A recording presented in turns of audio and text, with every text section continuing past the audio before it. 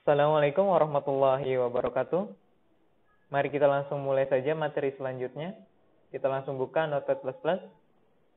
Dalam pemrograman website, di sini kita belajar dari dasarnya menggunakan HTML. Langsung kita review sedikit saja tentang dasar HTML, yaitu diawali dengan HTML, kemudian ditutup dengan slash HTML. Di dalamnya ada head, kemudian ditutup dengan head. Kemudian kita buat body, ditutup dengan body. Untuk mempermudah, kita save terlebih dahulu. Misalnya saya save di My Dokumen saya. Saya buat sebuah folder dengan nama pemrograman web. Kita masuk ke dalam folder tersebut. Kemudian saya bikin di sini latihan satu .html, titik HTML, pastikan titik HTML belakangnya. Kemudian save, nanti di sini akan berubah warnanya. Misalnya, HTML, kita arahkan ke HTML, maka akan mengarah ke penutup HTML. Misalnya di dalam head, kita berikan satu contoh menggunakan title. Misalnya di sini kita berikan nama latihan website, kita tutup dengan slash tit. Misalnya kita tulis seperti ini. Warnanya akan berbeda. Dan apabila kita arahkan kursornya ke sini, maka tidak akan terblok. Tapi kalau misalnya tulisannya benar, ini karena tulisannya salah, maka tidak akan terblok. Jika tulisannya benar, title. Maka ketika kita arahkan ke sini, warnanya akan berubah. Berarti ini sudah tutup. Apabila warnanya tidak berubah, berarti kemungkinan ada salah pada penulisannya. Eh, kita cross check kembali ternyata kurang i misalnya. Kemudian kita save file save. Setelah diedit ke, eh, kemudian di save coba kita run. Menggunakan Firefox misalnya browsernya bebas. Di sini sudah muncul latihan website. Namanya sesuai dengan namanya yang kita edit tadi. Kemudian misalnya kita akan membuat sebuah data misalnya NIM 11080907 ini hanya contoh saja. Tidak harus dipikir NIM-nya berapa namanya siapa. Misalnya Andi Gunarso PPL tempat tanggal lahir. Misalnya Depok 13 Desember 1990 misalnya jurusan akuntansi komputer. Coba ini kita luruskan.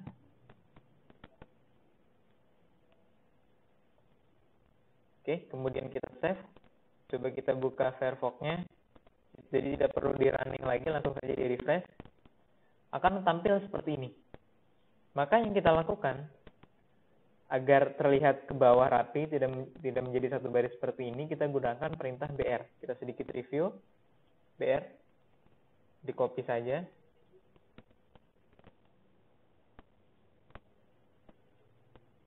Kemudian save langsung kita refresh. Jadi seperti ini tapi tidak rapi. Lihat titik duanya tidak rata. Maka agar menjadi rata kita menggunakan bisa menggunakan CSS atau menggunakan table. Tapi di sini kita akan menggunakan table terlebih dahulu. Kita belajar dari awal. Agar kita mengetahui dasar-dasar pemrograman website. Kita buat jarak, karena ini kita akan buat contoh, yang satu menggunakan table, yang satu tidak menggunakan table. Kita gunakan eh, HR, garis miring, kemudian ditutup. Ini langsung ditutup. Jadi tidak ada pembuka dan penutup seperti head, title, dan lain-lainnya. Langsung saja di save. Kita buka browser, di refresh akan menjadi sebuah garis. Satu garis adalah HR. Jika ingin dua garis, maka ada dua HR. Langsung saja, table ditutup dengan table. Bagaimana jika penulisannya seperti ini? Ini salah. Ketika kita arahkan ke table, maka tidak akan memblok table yang satunya lagi. Maka jangan lupa ditutup. Nah, seperti ini. Di dalam table akan ada yang namanya TR. Kemudian TR pasti ditutup dengan TR. Permisalan, kita gunakan eh, Microsoft Excel.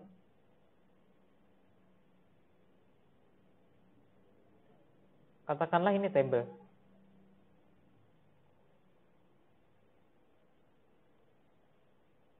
Slash table. Nah, kita akan membuat tabel di sini.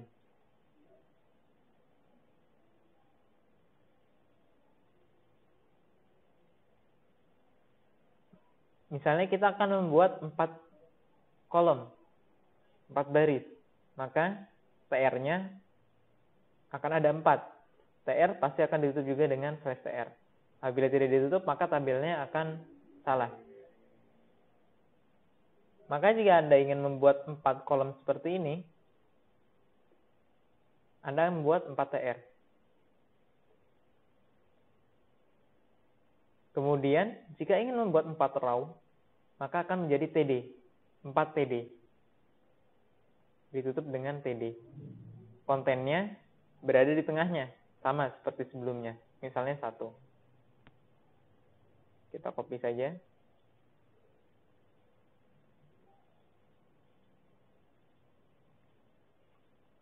Nah, jika ingin membuat 4 row, maka akan ada 4 TD seperti ini. Langsung saja kita praktekkan. TR bisa kita enter saja. Kemudian kita buat TD. NIM.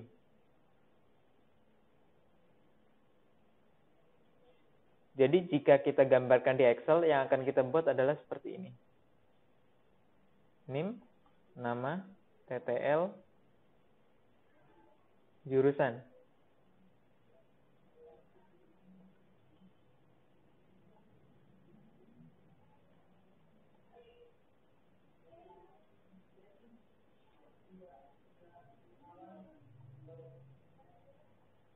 akan rapi.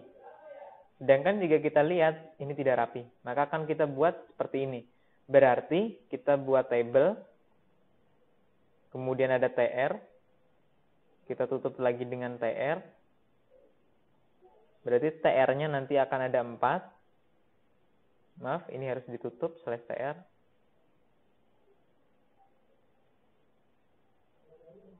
Nah, di sini ditutup lagi dengan slash table. Nah, ini berarti TD. Seperti ini. Berarti nanti akan menjadi TD slash TD. Kemudian ini TD slash TD. Nah, seperti ini. Sama ke bawah ada TD, NIM slash TD, TD, terus uh, NIM-nya, kemudian slash TD. Seperti ini kurang lebih. Mari kita praktekkan langsung.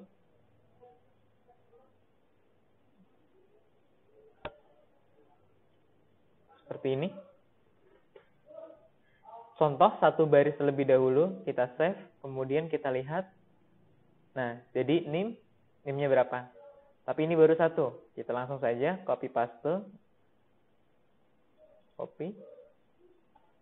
Kita buat 4 TR langsung. Nanti tinggal diedit saja.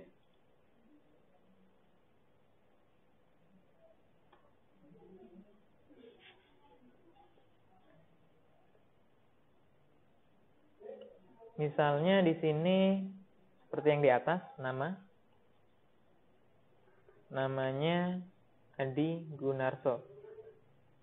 Kemudian TTL saya copy saja biar lebih cepat. Kemudian jurusan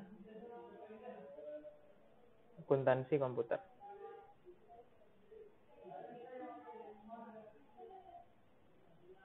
Kita save maka akan menjadi seperti ini, lebih rapi.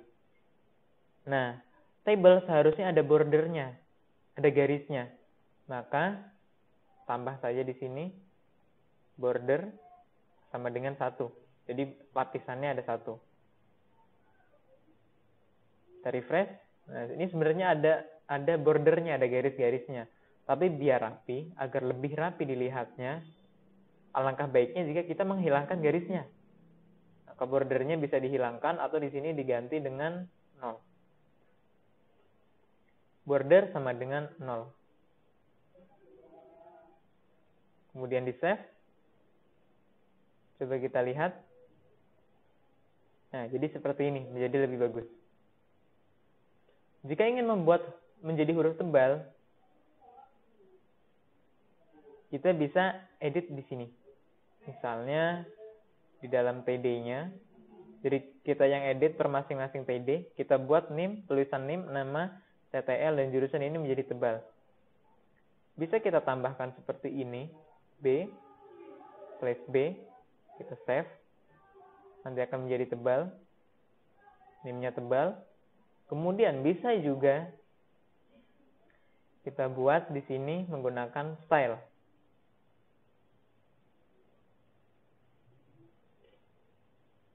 Font, wake, titik dua, bold, titik koma, tutup. Jadi style, ada tanda petik, kemudian ditutup dengan petik. Di akhir sebelum petik, sebelum petik terakhir ada titik dua kemudian save, refresh. Nah, namanya akan menjadi tebal. Ini hanya salah satu contoh saja. Nanti ke depannya akan menjadi banyak seperti ini.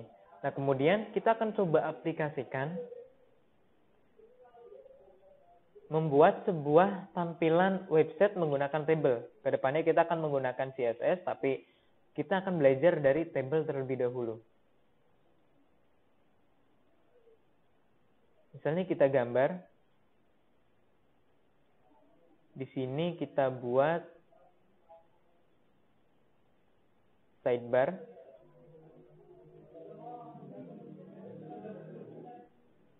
Ini kita buat sebagai konten nanti. Kemudian nanti ini kita gunakan sebagai menu. Ini kita gunakan sebagai header.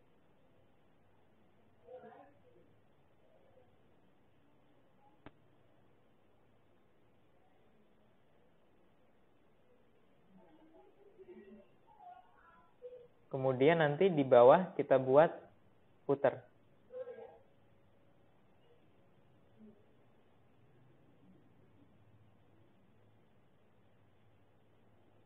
Kita buat di sini header. Ini nanti akan menjadi menu. Ini akan menjadi sidebar. Ini hanya sebagai contoh saja. Ini nanti jadi konten. Ini nanti jadi footer.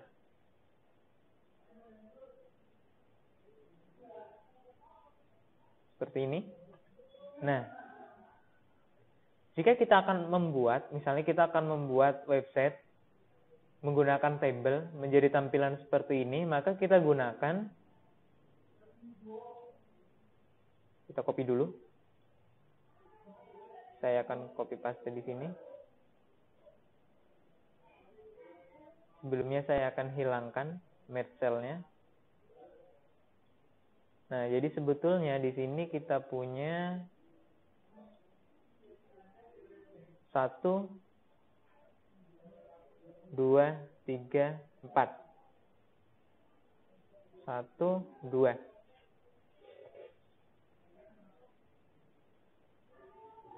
Satu, dua. Ada dua row dan empat kolom. Oke, kita praktekkan saja langsung. Kita buat, nah untuk biar nggak terlalu bingung, kita hapus dulu saja tabel yang sudah ada, data yang sudah ada kita buat table agar kelihatan garisnya. Border satu. Maaf. Border satu. Table. Nah kita buat seperti tadi. Kita akan buat 4 TR dan 2 TD dalam masing-masing TR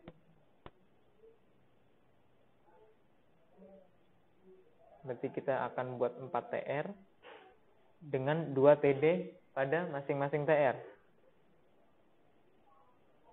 Agar lebih rapi, ini bisa ditaruh di bawah. TD slash TD kemudian slash tr. Nah, kita buat seperti ini. Kita copy.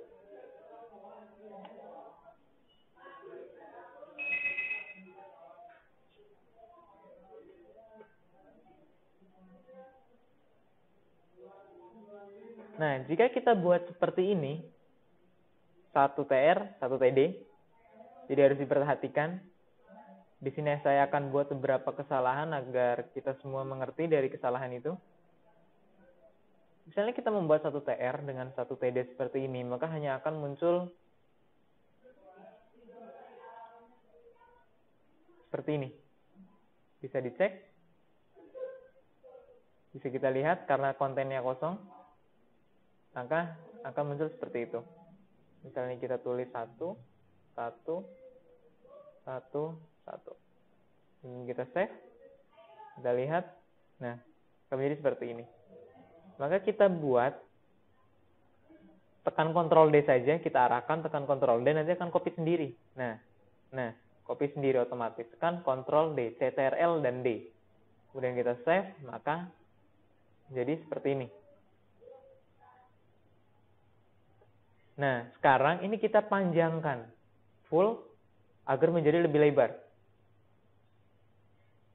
Pada TR di sini, kita bisa gunakan, atau pada di table, kita buat weight sama dengan 100%. Nah, jadi berapa ukuran lap, e, resolusi komputer atau laptopnya akan menyesuaikan 100% full. Kita lihat, nah akan menjadi panjang. Setelah itu kita buat tinggi karena di sini kita lihat headernya tinggi. Misalnya di sini karena tinggi kita tidak buat berapa persen, kita atur saja berapa ketinggiannya. Jadi ada persen, ada px. Langsung saja pada tr kita atur tr height ketinggiannya sama dengan misalnya 120 px. Kemudian kita save kita lihat di sini. Nah, ketinggiannya segini. Misalnya kita akan membuat header dengan ketinggian segini. Kemudian kita akan buat menu. Menunya katakanlah ketinggiannya sama seperti ini. Kemudian kita akan buat sidebar dan konten. Agak panjang. Maka bisa kita tambahkan. Ini untuk menu, ini untuk sidebar dan konten. Height-nya misalnya kita buat 500 px. Dan footer, karena footernya sedikit, kecil, misalnya kita samakan saja, tidak perlu diatur ketinggiannya. Kemudian kita lihat, akan menjadi seperti ini. Nah, sekarang kita atur sidebar. Sidebarnya ini lebih kecil daripada konten, maka kita atur saja.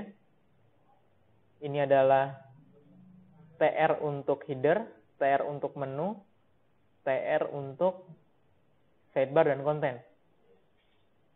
Misalnya ini bisa kita taruh di sini agar lebih memudahkan. Header. Kemudian ini menu.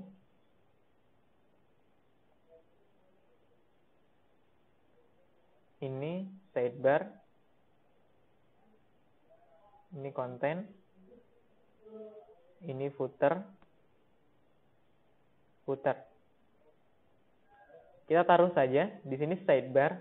Lebarnya yaitu weightnya. Kita atur karena lebarnya adalah 100%, weightnya 100%, misalnya kita buat di sini dengan 25%. Jadi sisa untuk konten TDI konten adalah 75% secara otomatis. Nah, akan menjadi seperti ini semuanya mengikuti.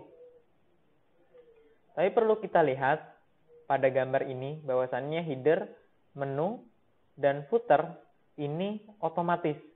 Tidak ada garisnya. Maka kita hilangkan garisnya. Dengan cara kita gabungkan dengan menggunakan perintah call span. Sama dengan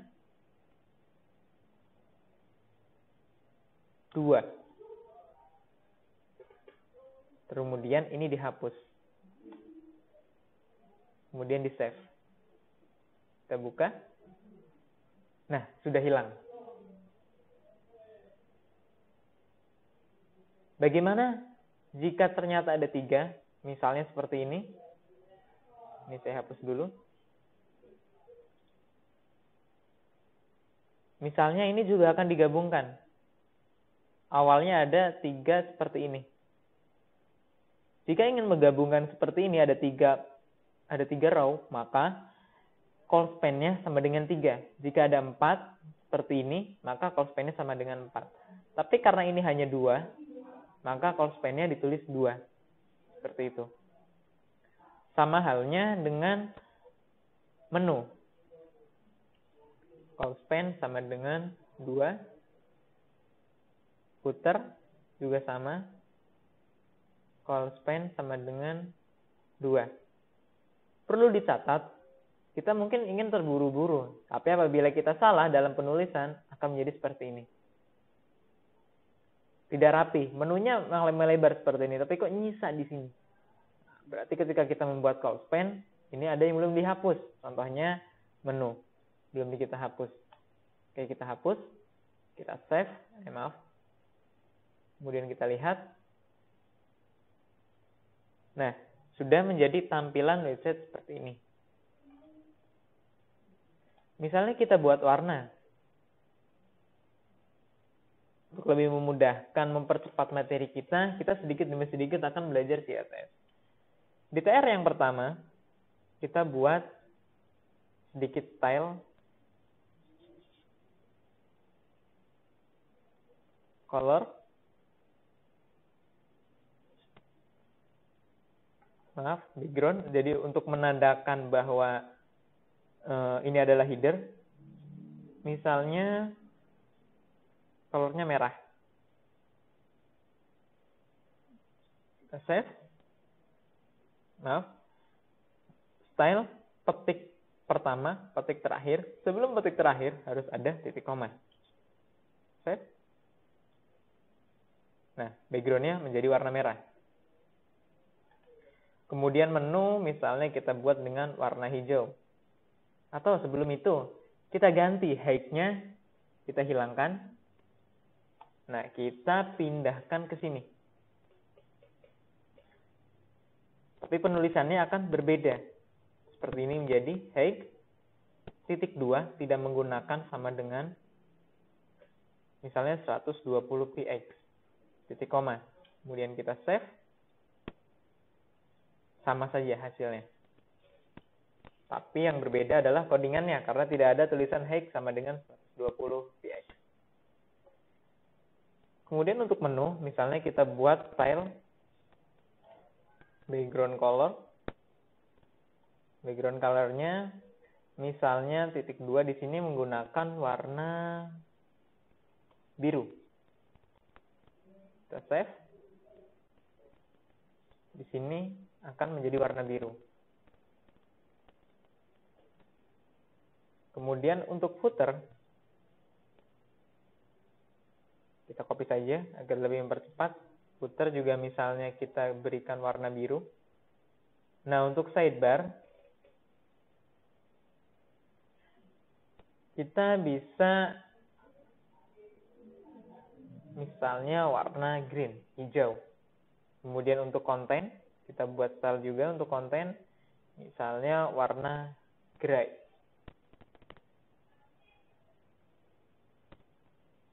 Save kemudian fresh. Nah, ini akan menjadi sebuah website sederhana. Agar lebih rapi, coba bordernya kita hapus. Kemudian kita save. Kita refresh. Uh, maaf, kita berikan 0. Kita refresh. Nah, tanpa ada border. Ini hanya garis-garis putih sebagai pembatas header, menu, sidebar, konten, putar. Nah, kemudian bagaimana jika misalnya kita akan membuat hmm, kita buat dulu ada table. Tadi kita menggabungkan seperti ini. Nah, sekarang coba kita buat yang disatukan bukanlah row, tapi kolom. Jadi seperti ini. Berarti kita buat permisalan, coba ini kita masukkan ke dalam konten. Maka ada akan ada table di dalam table. Berarti ini konten, misalnya kita hapus, enter saja. Kemudian kita bikin, perlu diperhatikan, ini ada TR, kemudian ada TD sidebar, ini adalah TD konten. Kita buat di dalam TD konten. Table, slash table. TR slash TR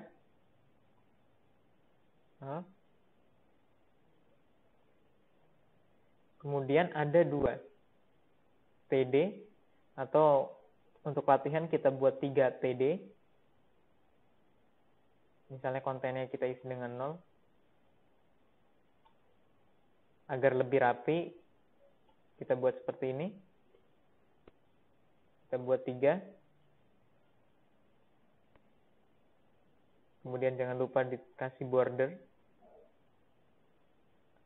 Karena kita belajar, pemakaian border ini cukup membantu dalam pembelajaran kita. Jadi lebih baik kita tambah. Berarti kalau kita lihat di sini, awalnya akan ada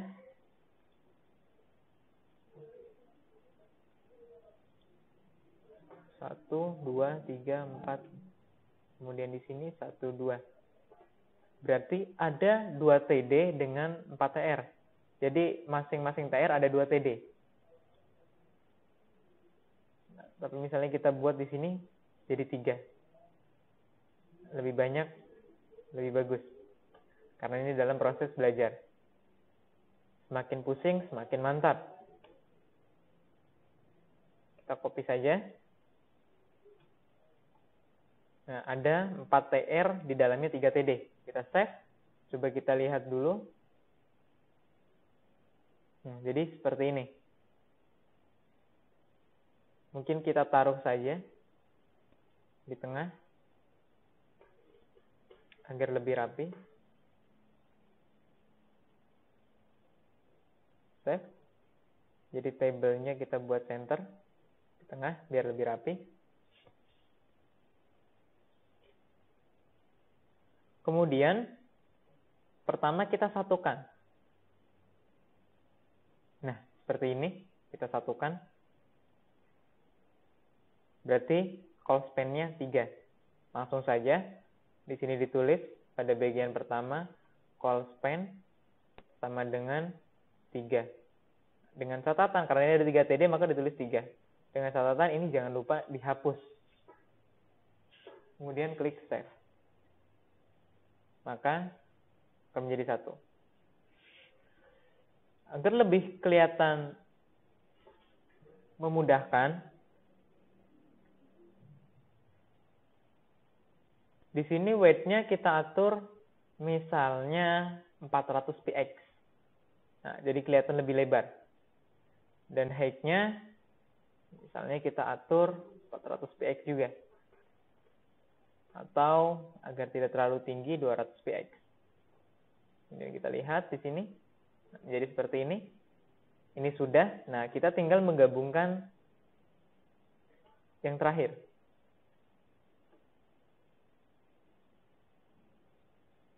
Di sini saya akan membuat beberapa percobaan agar kita semua paham. Nah, untuk menggabungkan yang terakhir ini, kita menggunakan rose pen. TD rose pen. Nah, yang ditulis di sini. Rose pen. Tiga. Karena ada tiga yang digabungkan. Rose pen tiga. Nah, kita belum hapus.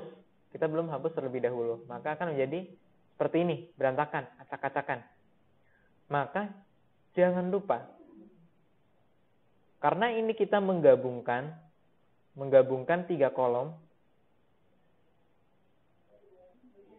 kita gabungkan, yang tadinya tiga menjadi satu, maka kita setting row span di sini, Maka ini yang dua harus dihapus, yang dua terakhir. Nah, kita hapus dulu. Hapus dulu. Save. Kemudian refresh. Nah, sudah jadi. Itu call span dan row span.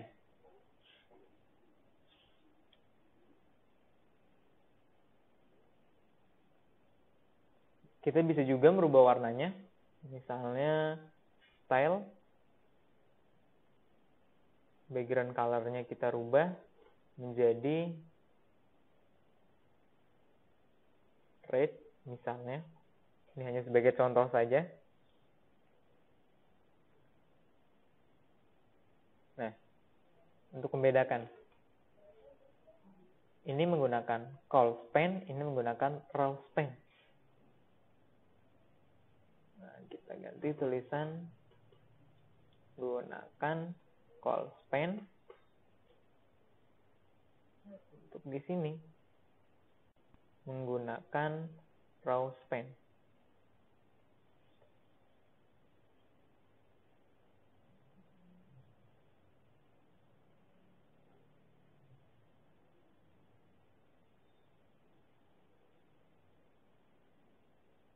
Nah, seperti ini.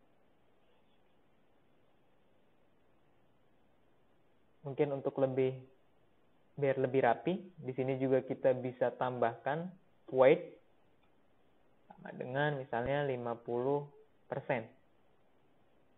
Jadi save. Nah, kita lihat jadi seperti ini.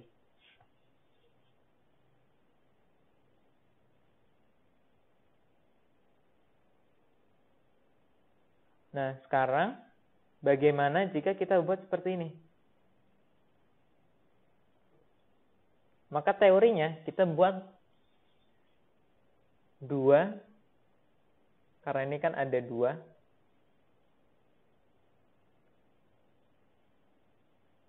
dari tiga. Berarti ada call span sama dengan dua, row span sama dengan tiga. Menjadi seperti ini tidak ada yang kita hapus. Ini kita hapus. Karena pada kolom kedua, kita lihat kolom kedua, berarti ini hanya ada 2 TD. Ada 2 TD, bukan 3 TD, ada 2 TD. Tapi call span-nya 2, karena menggabungkan 2 row.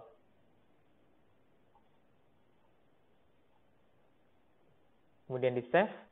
Nah, Sebelum saya menghapus TD yang lain, coba kita lihat dulu. Perbedaannya menjadi seperti ini. Kita lihat lebih dua. Di mana? Di kolom keempat dan di kolom, eh, maaf, di kolom ketiga dan di kolom keempat. Ada lebih nih. Maka kita hapus satu TD di kolom ketiga, satu TD di kolom keempat. Ini hapus. Ini juga dihapus. Dan kita save refresh. Nah, jadi tidak ada yang sulit, semuanya itu mudah. Hanya saja kita perlu bersabar dan selalu berusaha mempelajari materi-materi berikutnya. Sekian untuk sekarang. Selamat mengerjakan, selamat mencontoh. Nanti akan saya cek, insya Allah harus sama seperti ini. Baik, saya akhiri. Assalamualaikum warahmatullahi wabarakatuh.